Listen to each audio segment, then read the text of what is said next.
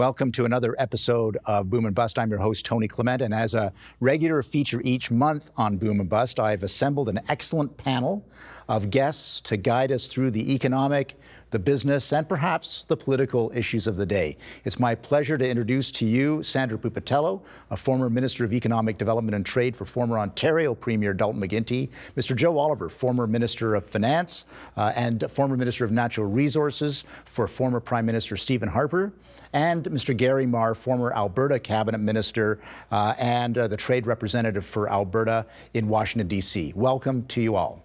Sandra, Joe, Gary, thanks for being part of this program today. Great to be here. For having us.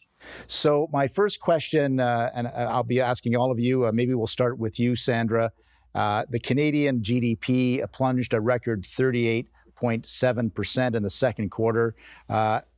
What's what's your take? Are we going into a prolonged recession, or is it still possible to have a V-shaped recovery? Let, why don't you start us off with your perception of things out there? Well, I think it really does depend on the sector we're talking about because some was such an immediate rebound come the second part of the second quarter of the year that it was almost as if it was coming right back on track. And then some sectors that we have, we can witness ourselves that restaurants aren't flourishing yet, uh, people just aren't moving around like before. So the service sector, I think, is struggling greatly. Manufacturing, though, seems to be coming back on track, and we know that that's got a huge multiplier in the you know for the GDP. So that's a good thing. Uh, I think that we, I, I sort of watch it all and say it could be a lot worse. And frankly, I'm surprised that the drop was only 38 because I've never seen a shutdown in my lifetime like like we just witnessed. Well, that's a good point. Uh, Gary Mar, you're uh, ensconced in uh, Western Canada, the Canada West Foundation. What's what's your take on these numbers?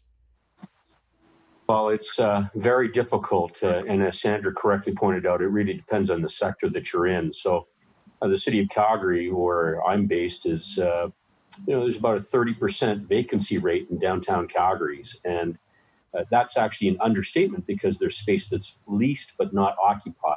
So, um, you know, try and imagine walking through downtown Toronto and every third building is completely empty. So the oil and gas sector has taken a big uh, a big hit. It's uh, it's really a continuation of not just COVID nineteen, but also a, a, great fight between the Russian Federation and the Kingdom of Saudi Arabia to drive oil prices down in an effort to gain market share. And then on top of that, uh, you know, we've got issues with respect to investment uncertainty that's been created in uh, in this country, and as a consequence, uh, investment in the oil and gas sector has dropped dramatically. From 2014, it was over 80 billion dollars. This year, it might be close to 30 billion dollars. So it's it's uh, it's a dramatic shift in uh, um, in the economic fortunes for a place like uh, the province of Alberta. Uh, Joe Oliver, as a former Canadian finance minister, uh, you've probably never seen anything like this. Uh, also, uh, what, what's your take on where we are and uh, what the possibility for a, a, bigger rebound in the future is? Well, you're you're right. This is unprecedented, and there's unprecedented uncertainty. The 38.7 percent is, of course, a calculation which is annualized, so it's really two months, and so it, it it's really grim. Uh, we never had a period where the economy was deliberately closed, and uh, it is almost. I, I, agree with with Sandra. It's almost as if the, the number could have could have been higher. Uh, the, the, stock market, interestingly enough, uh, performed its own V. Um, it it it fell dramatically until March 23rd, and then it moved up. And in the United States, it's actually um, exceeded uh, the peaks uh, previous to, to, to, COVID, not as well in, in Canada as, as you might have, might have expected. But um, business people and economists are not expecting the recovery at all. They're expecting something much more prolonged. Will it be a whoosh? Will it be a W? Will it be a U? Uh, we're not really sure, but it's not going to be as as dramatic a snapback as as the market um, I think is is suggesting. Uh, people are not going to all be coming back to work. Some businesses are clearly going bankrupt. It's going to businesses a while uh, to get back, and government support programs, while I think they're going to continue to be pretty lavish, are not going to be at the same level, perhaps right. uh, that they they were before. So we'll, we will we'll, have we'll, an pick upturn, but we got some we got some profound issues. Sure. We'll pick up this theme right after the break. We'll hear from our sponsors and be right back with the political and economic and business panel.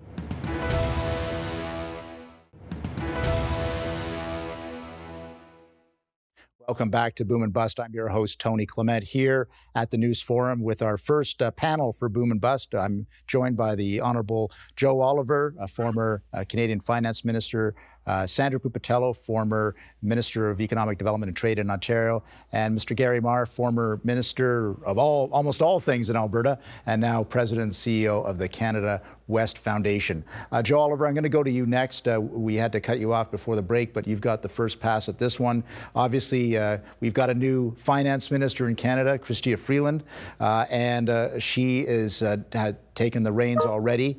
Now we're talking about a lot of things, including reshaping the social safety net. What, what, what's your reaction and your thoughts as Chrystia Freeland uh, starts her job as finance minister? Well, to get a handle on where she's going, uh, the, the, best thing is to, to what she said. And this was on a tweet. She said, I think all Canadians understand that the restart of our economy needs to be green. It also needs to be equitable. It needs to be inclusive. And then she added, and we need to focus very much into growth.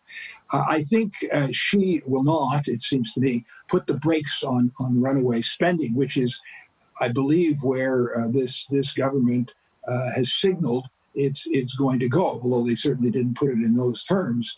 Um, Bill Morneau, uh, in a late night uh, conversion to fiscal rectitude, allegedly advocated some, some restraint. But now what we're hearing talk about is a great reset.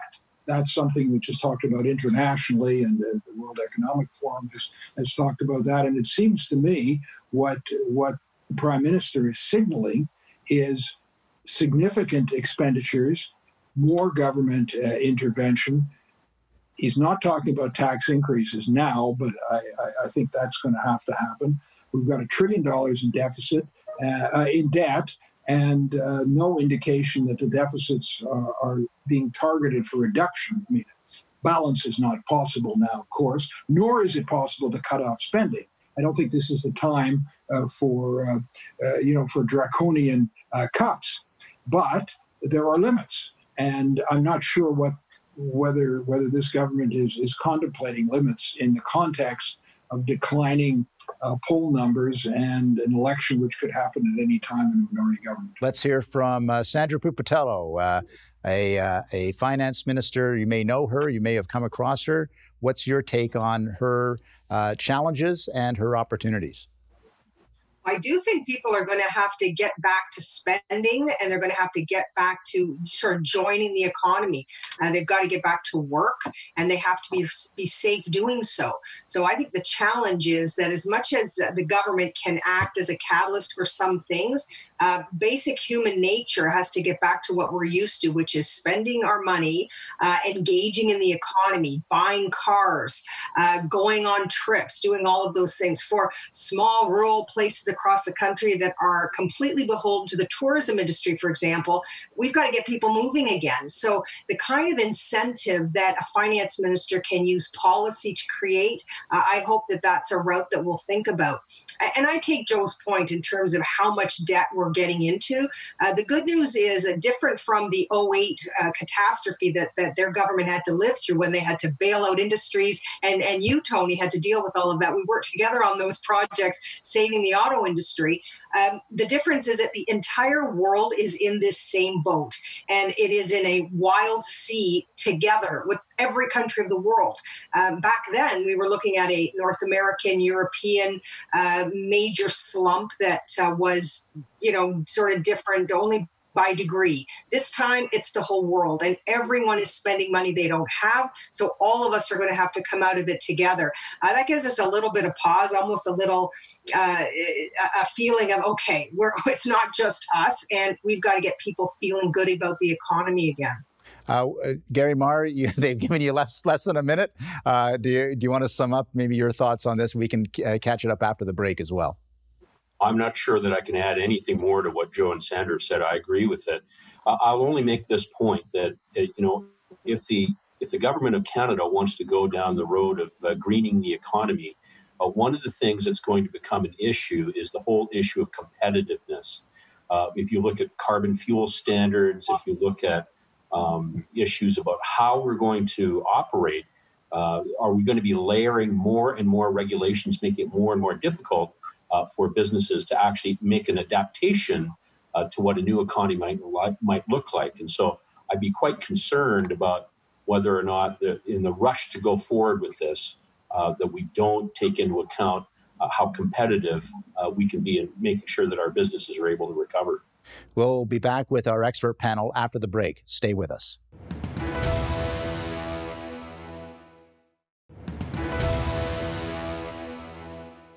And we're back. I'm your host, Tony Clement, here at Boom and Bust at the News Forum with our expert panel. Uh, Gary Mar, we, uh, we left the last segment uh, to the end for you, but I want to give you the first crack at this uh, to talk about things from a regional level. Uh, in, uh, in Alberta, in Western Canada, how should the provincial governments respond to the current economic crisis? Well, I think it should be about looking at training uh, to transition people out of the circumstances that they find themselves in now for jobs that are actually demanded in the marketplace. And so that uh, every province should be looking very carefully at uh, you know their uh, labor market information and uh, supporting uh, the transition of people from the jobs that they're in to the jobs that are actually out there. And that doesn't mean that you have to go back to school. If you're an engineer, an electrical engineer, uh, you know, maybe a, a, little bit of upskilling, a little bit of uptraining uh, will allow you to become a solar electrical engineer if that's uh, where the demand is. And so um, I think that it's all about trying to put, as Sandra and Joe said, putting people back to work, uh, but making sure that they have the skills that are uh, that are in demand as we transition um, the nature of our economy. As Sandra Pupatello, you were a former Ontario minister. What should Ontario be doing uh, as we seek to get out of the economic recession we're in? Well, I do think that I'm very anxious to see how the fall is going to go, and hopefully everyone sort of acts accordingly, and we don't have that big second wave, or you know, related to the pandemic. And there's a confidence that grows with people feeling comfortable to go back to work and comfortable engaging in all the economy they did before, buying clothes, going to restaurants. Um, our small businesses, we've all seen the numbers. Uh, I fear a big hit with a lot of uh, those stores and and offices just right on the brink of not surviving. And a lot of jobs are, are hinged on those types of businesses. So I hope um, that we do that, that the government of Ontario stays very strong in terms of requiring masks, requiring social distance, leading by example, and that when our schools reopen, we can all breathe a sigh of relief. Uh, Sandra, thanks for that. I'm going to have to cut you off. We had a bit of a technical issue with Joe Oliver, but we do have him back now. Uh, Joe Oliver, uh, obviously you had a federal perspective, but very keenly interested in, in regional issues as well. What should the provinces be doing uh, to, to deal with economic recovery, in your view? Well, as as as Gary and, and, and, Sandra pointed out, there's there's an uneven impact, of, of course. I mean, there's special challenges for Alberta, devastated by a double threat of a collapse in oil prices and, and hostile government regulations. But but generally speaking, we need to enhance our competitiveness, and that means a competitive tax structure. We've got to develop our natural resources. We have to reduce regulation. We have to focus on jobs and growth um, Ontario is is uh, particularly um, dependent on, on manufacturing, but but it's a diverse economy, and so the, these issues are are issues that that affect the the entire country, and we we just have to be very uh, strategic and and take lessons from the past. We know what what tends to work, what tends to get people back uh, at work, as, as Sandra ha- has said uh, on a couple of occasions. And um, we, we cannot uh, continue to rely on government to uh, to support the economy indefinitely because they're they're going to run out, out of money. We have to rely on the on the private sector, on individual uh, Canadians uh, getting back to, to, work, which is what they want and, and need to do. Um, skills development is is is crucial, um, and we have to avoid plunking money into uh, un- uncompetitive um, sectors uh, that uh, you know that may um, uh, make us feel better, uh, but aren't going to get the the economy going. We simply can't afford um, in in this kind of um, fiscal situation to you, you know not to focus on what really will will make an economic difference. Uh, thank you for that. We've got one more segment for our panel, and I want to thank them at this point for being part of this. Uh, stay with us as we continue to talk about the economic future of our country.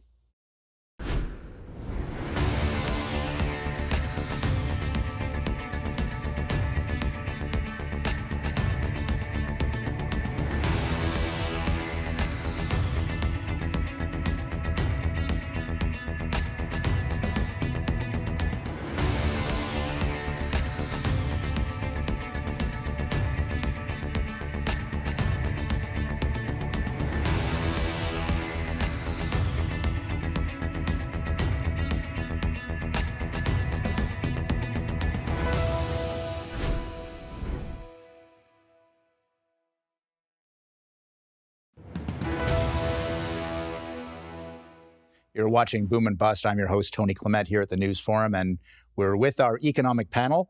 Final segment, final question, big one. I want to take a look at the Canada uh, US trade relationship uh, post November. You'll either have a re-elected administration with President Trump or a new President Biden. What do you see as the stakes and the future of the Canada-U.S. trade relationship? I got to go to Gary Mar again first. He was the Alberta agent in Washington, D.C. Gary, what's your prognosis and your take on things? Well, I think that uh, this is a very, very important trade relationship for Canada, and it'll be important for us not to, uh, you know, uh, mess this one up. I'd have to say that uh, President Trump has not been good generally for the relationship uh, for Canada. I mean, 80% of our um, of, of, our uh, trade exports go south of the border. Um, the president uh, has uh, promised to move KXL. Uh, that hasn't gotten us anywhere so far. I'd say that should President Biden be successful, um, it will probably improve the relationship, uh, but it might not have uh, the kind of, it'll have an uneven effect across Canada. I think uh, a Biden presidency would probably be good for Quebec, Ontario, British Columbia. Um, for the Western Prairie provinces, it may not make things worse, but I, it's difficult for me to see how they might make things better because, of course, President uh, or Vice President Biden has steadfastly said that he would be opposed to an expansion of um, uh, of uh, pipeline capacity going into the United States in the form of KXL. Uh, Sandra Pupatello, you were uh, uh, also a trade minister in the province of Ontario. You probably dealt with U.S. trade issues. How do you see things? I have to say that I'm not expecting anything dramatic to change uh, should Biden be successful, at least in the short term. I think they have so many issues to overcome and try to smooth over in America itself that they'll focus on that first. Uh, longer term, I think the the it'll be better, obviously, than than what we currently have, and I think all of us will breathe a sigh of relief in that at least it won't be so nasty. Uh, I've never in my life heard Canada being spoken to in the way that we have recently, and I don't think any of us on this panel have ever experienced that. So that's a bit shocking. I think that'll go away if Biden wins if he doesn't and Trump wins again, I think it'll be more of the same. He'll be galvanized and perhaps go even further. Uh, living in Windsor, uh, I can tell you that that trade issue for us, that daily crossing, is critical to our future, critical to the Ontario economy for sure, uh, let alone just Canada. So I do worry that we're in it for a bit of a long haul before we see change. And many of us will know the Democrats really were the party that were more anti trade than the Republicans. So uh, on policy, I'm not sure sure how much shift we're going to see and in what order and how much time. Joe Oliver, uh, you have the last word. Uh, what do you see in Canada US trade relations? Well, you know, I think the tone would clearly be different if uh, if if uh, Vice President uh, Biden wins, but the substance, uh, while it may it will be different to some degree, may not necessarily be better. I mean, after all, um, uh, you know, Biden has been pushing the, the, green policies. Now that will give the current government uh, some some cover, um, but uh, it it it will result, I think, in in more uh, focus on um, perhaps uncompetitive uh, uh, ventures uh, that are costly and won't necessarily make the economy grow more.